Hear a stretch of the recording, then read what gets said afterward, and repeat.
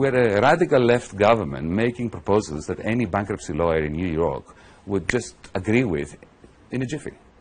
On, uh, on the 25th of June, in the Eurogroup, I was presented with a very comprehensive proposal from, by institutions. It was more or less on the take it or leave it basis.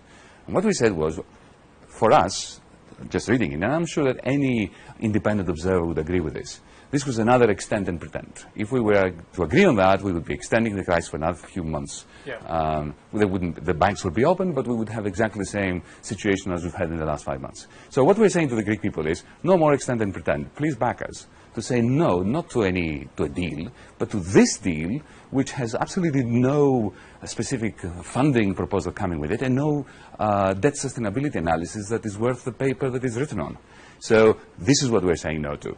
This kind of mentality, where yeah, just sign up, take a, a small tranche of money just to tie you over for a few months, and then we come back to the same crisis, to the same crunch negotiation. Yeah. It's time to end this. Why is Greece constantly on the brink of collapse and with Grexit in the air? The reason is the extending and pretending. It wasn't the, the radical left government. We're a, a product of the failure of these programs. So what I'm saying is this. We really desperately want to stay in the euro Right. even if we're critical of the uh, institutional framework of the euro. Once you are into uh, inside a, um, a monetary union like that, you don't want to get out. It will be catastrophic. So we want to be in it. So the question for the Greek people is, how do you stay in it? Do you stay by further extending and pretending? I believe not. If we sign that agreement that was offered to us by the institutions, in six months, 12 months, we'll be even closer to insolvency, even closer to Grexit. Yeah. So I'm not going to put this question to people because if you were asking me, do I want Greece in the euro, I would say absolutely yes. It's a senseless question. The Greek people want us to stay in the euro. The referendum is about how to achieve that. Do we achieve it by accepting and another extending and pretending? I don't think so. Or by rejecting it? I do think so. Think of the election campaign. Um, think of all the, the conservative parties and centrist parties that campaigned against us from across Europe. Mr. Rajoy, the, the, the Spanish Prime Minister, came here and campaigned in favor of the sitting government at the time. Uh, look at the, the, what the, the German press, the French press was writing at, this, at the time. They just didn't like the idea of our government. Not so much because we're left-wing government, because left-right means nothing these days. This is a question of do we challenge the established uh, logic, which in our view is irrational, that uh, you need to impose the greatest austerity on the most uh, recessionary economy. And they don't like the idea that we're going to challenge that, you know, that, that supposed logic. I think they trust us to do what we say we will do. And they can see that with the referendum. They don't like what we're doing, which is to challenge a logic that has failed. Look, nobody likes to be told they were wrong. So imagine now we have the three largest institutions in the world, the IMF, the European Commission, the European Central Bank. They've been imposing upon this country a certain program of reforms, of fiscal policy, which is the greatest failure in economic history in the world, Yep. right?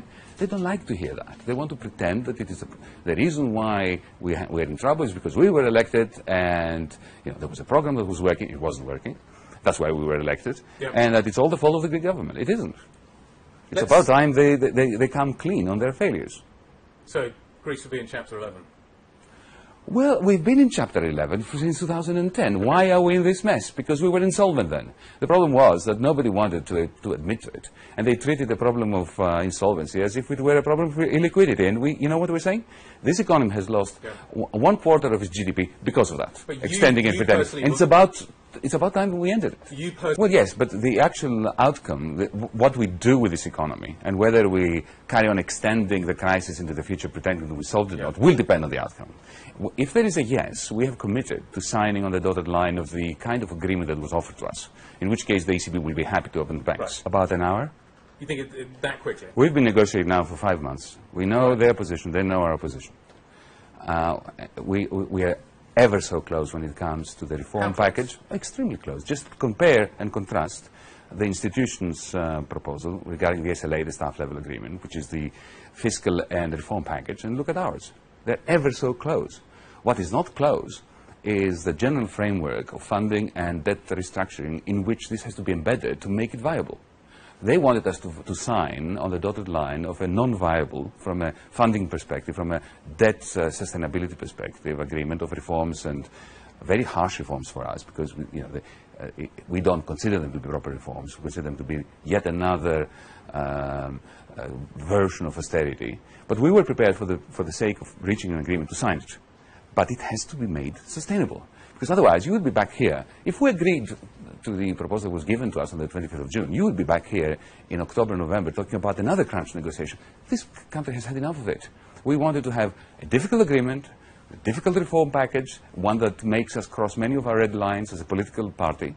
We were prepared to do this for the sake of Europe and Greece. But at least tell us, is this going to be the end of this negotiating under conditions of crisis? So the answer is no, because they have no, they have absolutely no credible funding and debt restructuring proposal to come along with it. Do they believe that the Greek debt is sustainable? No, they don't. Ask any independent, sensible observer or economist, they will say the same. Well, we are un- unreconstructed Democrats, aren't we? We said that we're going to take this to the Greek people, and if the Greek people say yes to this particular, I um, don't have the moral right to sign another extend and pretend, which is condemning this economy to further stagnation. Because let's face it, ask any of our member of our audience at the moment who is an investor, would you invest in a country whose debt is not sustainable, according to the IMF?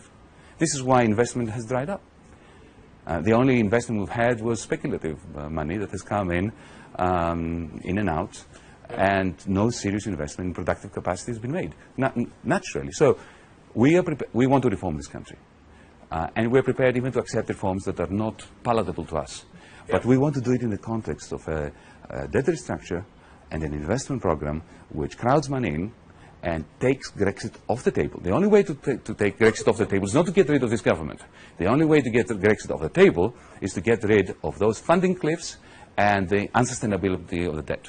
And they treated the problem of uh, insolvency as if it were a problem of illiquidity. And we, you know what we're saying?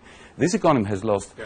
one quarter of its GDP because of that, But extending and you. And it's about, it's about time we ended it. You personally won't sign a deal without debt reorganisation as being part of it. That is No, I prefer to, fundamental I, to you. prefer, I prefer to cut my arm off. Okay. So that's, th- th- that's a pretty big red line. I've been saying this since, uh, s- since I can remember. Right. Remember, I'm going, still going to be a member of parliament. Right. Yes. Okay. together with the rest of the government, and we are going to have a very solid base from which to make the point that it's about time Europe accepts some, a very radical principle, the principle of democracy, and the principle of rationality. Two principles that Yeah. emanated from this You- you continent, still which uh, have been set aside uh, recently. So you may step aside, but you still think that Syriza will be the bulk of the government post this, post this referendum? Well, Syriza is going to be the, the major force in Greek politics after Monday, whatever happens, and we're going to make sure that this country is given the chance it deserves to become a proper first class, not second class or third class um, citizen within the, Euro- the European Union and the Eurozone. At the moment, we've been treated as if, uh, just like uh, Yeah. in a dead colony, you don't have rights.